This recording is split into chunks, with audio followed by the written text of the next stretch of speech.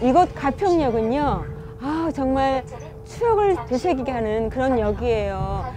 사실 그 1980년도부터 90년도에 경춘선의 전성기라 불릴 만큼 인기가 정말 대단했었잖아요. 아우, 낭만열차, 뭐, 대학, 대학 시절 때 MT, 또 그리고 또 연인들의 데이트 코스, 또 여기 뭐 주말이면은 뭐 이역 장에 뭐 청춘들이 다 쏟아져 나와가지고 발디딜 틈이 없을 정도로 정말 추억의 거리고 낭만, 청춘의 거리였습니다. 아마 그 시대 분들은 다 이 역을 기억하실 거예요. 가평하면 가장 생각이 나는 게 강변가요제예요. 아, 그때 이선희 씨의 그 제이에게 여러분들 다 생각, 생각하시죠?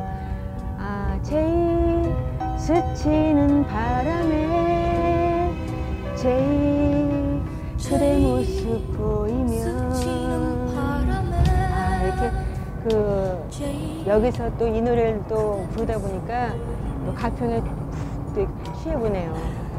근데 저 지금 우리 가는 곳은 춘천이잖아요. 네, 두근두근 두근두근 춘천. 네, 우리 지금 다 이제 춘천을 가는 건데 기회가 주어지면 가평도 한번 와보고 싶어요.